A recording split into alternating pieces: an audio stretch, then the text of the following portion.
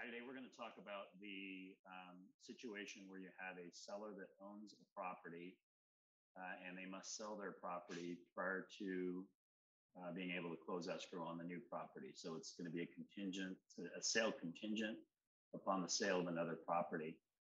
And uh, this is your standard RPA. So as you scroll down to the standard, you scroll down through the standard RPA document, and you are get, going to get to the section just above where the addenda are. Going too far.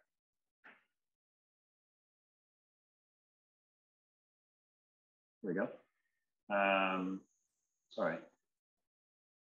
Right here, there is a section under paragraph four, which is sale of buyer's property. And it says, if checked, uh, actually, it says under paragraph A, this agreement and buyer's ability to obtain financing are not contingent on the sale of any property owned by the buyer. So that means, as a default, the the deal is not contingent on the buyer selling something else. There's a checkbox. If you check on that, which we are going to check that, and if you check it, it says this agreement and buyer's ability to obtain financing are contingent upon the sale of the property owned by the buyer as specified in the attached addendum, CAR Form COP. So when we click on that box, it automatically, you'll see up above here, it, it says contingency for sale of buyer's property is actually brought into our folder. So if I come up here to the left and I hit the back button, you can see these are the forms that I have. This is the standard residential purchase agreement we were looking at.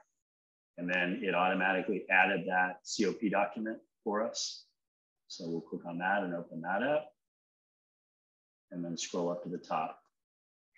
So uh, as we run through this, um, this is the title of the document is contingency for sale of buyer's property and notice to remove contingencies. So it, it serves a couple of purposes. Um, the first the first purpose is to identify that the property is actually contingent. And what is it contingent on?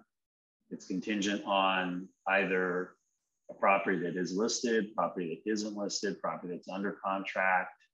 Uh, and we'll go through that as we go through it. And then it also identifies the, um, the rights that the seller has in order to get out from underneath this COP document. And we'll talk about that as well as we go through it.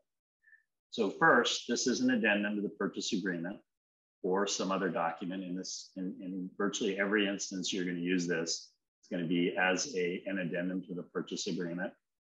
Um, there is room for other, uh, but it's unlikely that you use it for anything else. Dated, obviously we need to reference a date on the document on the property known as. And so you would fill in the address of, this, of the uh, property that um, uh, the purchase agreement is purchasing, so it is the seller's property between the name of the buyer and the name of the seller. And then the buyer's property is added uh, to, to this last line. So that's the property that is going to be, uh, the contingency is going to be based on.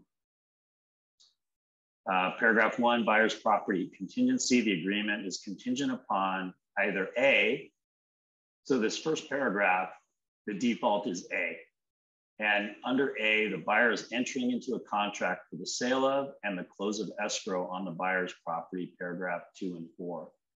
So what that basically is saying is, is that the deal is contingent upon the buyer's property actually closing escrow, going into contract and closing escrow.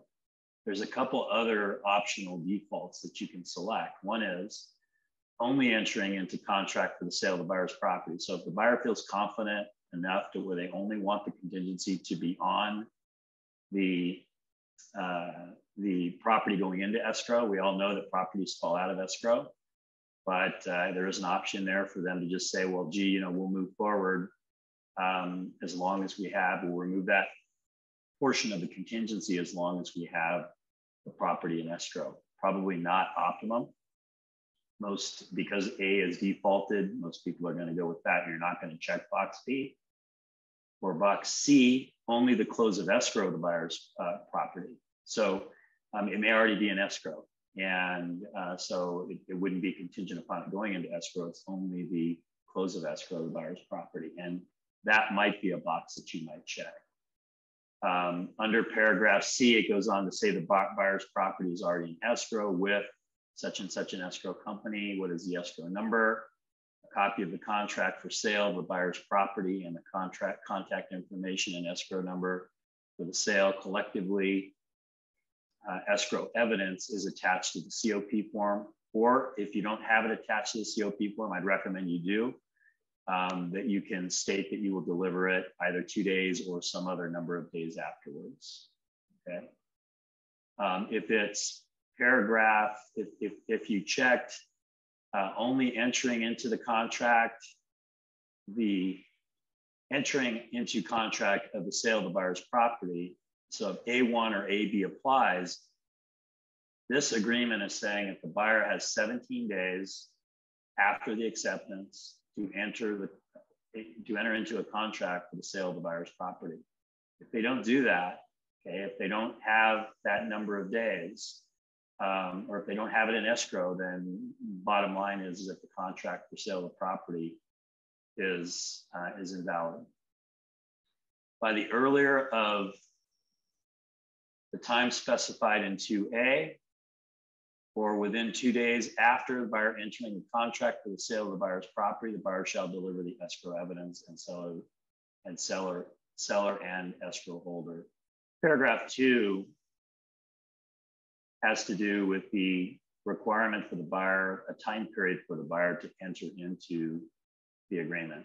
And the default is uh, 17 days. So it says buyer shall have 17 days after acceptance to enter into a contract for the sale of the buyer's property and then paragraph B states by the earlier of the time specified in 2A, which is the 17 days, or within two days after buyer entering into contract for the sale of the buyer's property, buyer shall deliver escrow evidence to the seller and the escrow holder. So it's basically telling them that they have two days to provide that. And um, there's a provision down below that allows the seller to cancel the contract if within the 17 days. So the danger is if you feel confident that you're going to get your property in escrow, um, the buyer's going to be able to get this property in escrow fairly quickly. Um, sometimes 17 days isn't quite quite enough time, so you want to be careful with that. But you also want to watch that from the seller standpoint. If you're negotiating this this COP, you want to make sure that that's not an unreasonable time period, uh, and that you know the, the the feed is being held to the fire of the buyer in order to get the um, uh, get the property in escrow. Paragraph three, listing and MLS status of the buyer's property. So um, in this particular case, um, it, paragraph A states that the buyer has signed a listing agreement, so it's identifying um, um, who that listing agent, that listing brokerage is. Paragraph B states the buyer's property is or will be submitted to the MLS in the geographical area where the buyer's property is located, or it could not be put in the MLS. Um, but there's that, that's information that the seller would probably want to know. Buyer shall, paragraph C, buyer shall deliver to seller evidence of both the listing agreement and if applicable, applicable, the MLS listing within one day after acceptance of the buyer's property is already listed with a real estate brokerage, or if not already listed within one day after listing with the real estate brokerage. So the buyer is authorizing the seller to receive the listing agreement and the MLS printout so that they can review that and have one day to do that either after acceptance of the COP document or um, uh, uh, if it hasn't been listed yet, one day after it's been listed. Paragraph four, close of escrow of the buyer's property. If A1 or AC 1C applies, buyer has until the following time to close escrow on the sale of the buyer's property. So uh, if, it, if, it, if, if, if it is contingent upon the successful close of that property, um, uh, let me just go back and read that. Um, if the scheduled close of escrow of the seller's property or if checked no later than five days prior to the scheduled close of escrow of the seller's property. So um, it, it, it, it, defaults um, to the time period in the agreement. So if you have a 30 day escrow on the seller's side, okay, but you can modify that to either five days prior to that scheduled closing date or some other date, some other number of days prior to that. Paragraph five, status of the sale of the buyer's property. If A1 or AC applies, buyer agrees to keep the seller informed about the status of the transaction for the sale of the buyer's property, including any modifications, addenda, or amendments to the terms of the accepted offer or delays to or removals of contingencies. So again, what the buyer is, is telling the seller here is, is that they will provide all the updated information. If there's a hiccup in that transaction, they're obligated to tell them. Um, paragraph B states within two days after the seller's written request, but no earlier than the applicable time to remove contingencies in the contract for sale of the buyer's property, buyer shall deliver the seller evidence of the removal of the contingency. So not only is the seller or the buyer required to keep the seller updated of any changes or anything that happens in their transaction, they're also uh, acknowledging in this agreement that um, when the seller asks for them, uh, that within two days they have to provide the evidence, the written evidence that those contingencies have been removed. And uh, so again, it's giving sort of the power. The seller's pulled his property off the market uh, it's kind of giving the power to the seller to be able to be on top of this and make sure that things are moving forward uh, in a timely manner. Paragraph six deals with cancellation of the buyer's property. If the buyer's property is in or enters escrow and either party to that escrow gives the other a notice of cancellation of the contract, buyer has two days to deliver the seller that written notice of cancellation. So the seller's in the loop, they know. They're not, they hear that it's in escrow, they're provided the information regarding the escrow, get cancels. sometimes the buyer doesn't want to tell the seller that because they are afraid that the seller is going to do something about it. And um, in this particular instance, it, it is a requirement. They have two days to provide or they're in breach of this agreement. This is where it kind of gets a little bit sticky in paragraph seven. So the seller has rights depending on these paragraphs to continue to market the property and see if they can get another acceptable offer. And if they get an acceptable offer, depending on how these boxes are checked, the seller then has the right to cancel on that given buyer if they're unwilling to remove the contingency. So um, let's start with paragraph 7A backup offers. After acceptance, seller shall have the right to continue to offer the seller's property for sale for backup offers. The, pro- the, the parties acknowledge that brokers shall not violate MLS rules requiring accurate property status reporting. So what that means is that the seller has the right to continue to offer the property for sale looking for maybe a better offer because it's a contingent deal. Um, you have a situation where the buyer's property is for sale, they may never sell. And the seller can't be out there in limbo. So they want to continue to try and work this. All right. In this kind of market, not too many of these contingent deals are going to get accepted because the market's too hot. Sellers don't want to have their property off the market while some buyer is trying to sell their property. However, the chances of it happening are better in this market because the buyer has a better chance of selling it. So, you know, it, it is something that that allows a deal to go together uh, and uh, grants some flexibility uh, but it also gives the seller the right. I mean, at the end of the day, it gives the seller the right to be able to cancel the transaction and move on to a better offer if they choose to. Paragraph B says removal of buyer contingencies and proof of funds unless 7C3, which would be um, uh, where they the seller doesn't have the right to cancel on, and we'll talk about that in a minute. Um, what was that? Uh, is selected if buyer, if seller accepts a written backup offer and provides the buyer a copy of the signed accepted backup offer within the time specified in 7C1, seller shall have the right to give written notice to the buyer in writing. So They get an offer, it's accepted, it's acceptable. They have to provide it to the buyer, then they give them a written notice in writing to remove this contingency. So to remove the contingency for the sale of the property, um, remove the loan contingency, if any, and provide verification of sufficient funds to close the escrow without the sale of the buyer's property. They can't just say, okay, we'll remove the sale of contingency property. They have to provide additional documentation to ensure that they have the right or they have the ability to actually perform on. Okay. Um, so they have to provide that. Uh, if they don't, okay, if they don't provide that within two days uh, after delivery of the notice, then the seller may immediately cancel the agreement in writing and move on. Okay.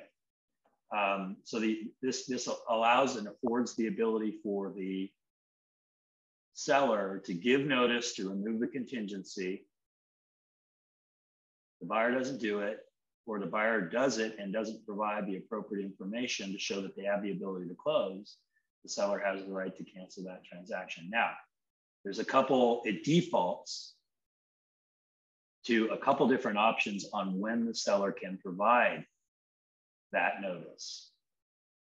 Paragraph C1 states that immediately, right at any time, okay, the, the uh, anytime after acceptance, uh, the seller has the right, they get another offer, they have the right to uh, issue this notice for them to remove the contingency within two days, or they have the right to move on to that backup offer. That is the default.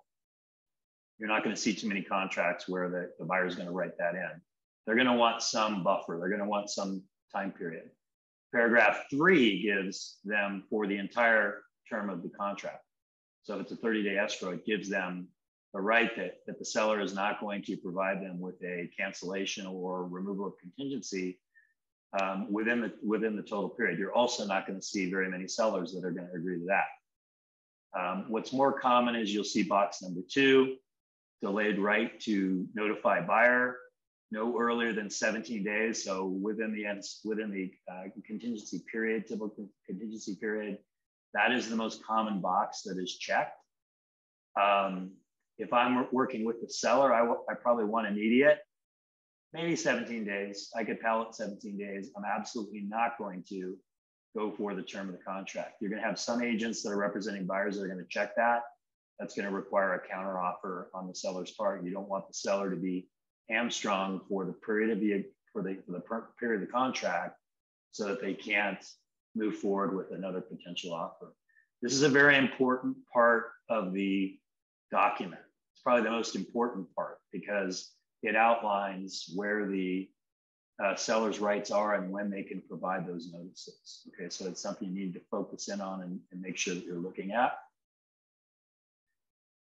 Now we go down and it talks about what what provides the sellers the right to cancel. Okay. Um, the seller can cancel paragraph A after first giving a buyer a written notice to remove the buyer contingencies and provide proof of funds above. If the buyer fails to take action specified in 7B, so that is um, if they fail to take action up here after giving the proper notice in the, in the, in, in the specific time period, the seller has the right to cancel and move on. Okay, paragraph B, after first giving a buyer's notice, notice a buyer to perform, if the buyer fails to enter into contract for the sale of buyer's property within the time specified in paragraph 2A. So if you go back up to 2A, remember we talked about the fact that they had to put their, it's not an escrow, they had to put it in escrow within 17 days. If they don't do that, then the seller has the right to cancel under paragraph 9B. Paragraph 9C, after first giving the buyer's notice to perform, you're noticing something here. Obviously, there's always a notice a buyer to perform. If buyer fails to close escrow for the sale of the buyer's property within the time specified in paragraph four. So again, up here, we've talked about the time period. Remember, it has, they have until the, the close of the seller's property, or if modified here, five days in advance of that. If they fail to close escrow during that time period, or up to that time period. And under 9C, the seller has the right to cancel. 9D, after first giving the buyer's notice to perform, if the buyer fails to deliver escrow evidence within the time specified in 1C or 2B, so they need to provide that, information to the seller. sellers. They don't do it, uh, and the seller gives them a notice to perform and they still don't do it, then they have the right to cancel. After first giving the notice to perform, if the buyer fails to deliver evidence of the listing of the buyer's property or as applicable, the submission of the buyer's property to MLS. So again, if it's the listing side, they have to provide that. If they don't, they give a notice to perform. If they don't do that, then the seller has the right to cancel. If the buyer fails to deliver evidence of the removal of contingencies in the sale of the buyer's property, paragraph G, if the buyer gives notice to the seller to either party, party's cancellation of the contract. So if, if, if they, if they, if, if there is a cancellation after it goes into escrow, then the seller has the right to either continue on or they can cancel the agreement. Buyer's right to cancel. Buyer may cancel the agreement in writing if prior to the buyer's removal of the buyer's contingency specified in paragraph 1A, B, or C is applicable. So if 1A or 1B applies, buyer is unable to enter into the contract for the buyer's property within the specified time. So they, they just say, I can't get it in in that time. I have the right to can I, I, I, I'm, I'm going to cancel. Okay, I have the right to do that. Paragraph B, if 1A or 1C applies, either party for the buyer's property gives notice to the other to cancel the contract for purchase of the buyer's property. So if someone backs out, the buyer then has the right. I mean, technically, the right the buyer has the right up until 17 days anyway to cancel the agreement. But this gives other provisions under this agreement that allows the buyer to to uh, to cancel the transaction.